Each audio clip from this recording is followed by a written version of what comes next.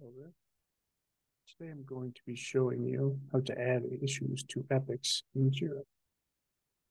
First thing you're going to want to do is go to the backlog.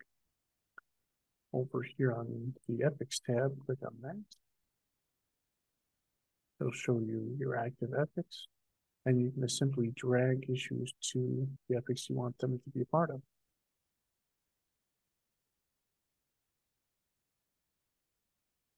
Now those stories are a part of that epic.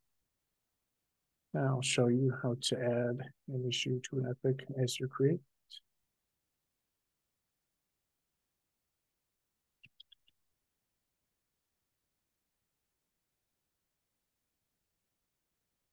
fill out everything you need to.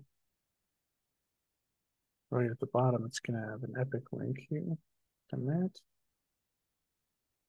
Add it to the epic you want by clicking on it. Go ahead and create the issue. That issue's been created. Let's head to the roadmap, take a look at the epic.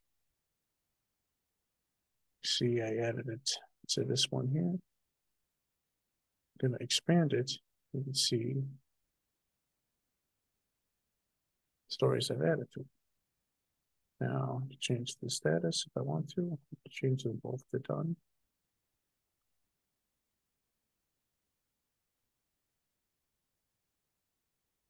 Become the epic again. Now, as we can see right here, saying that the epic is 100% done because all the stories in the epic are done.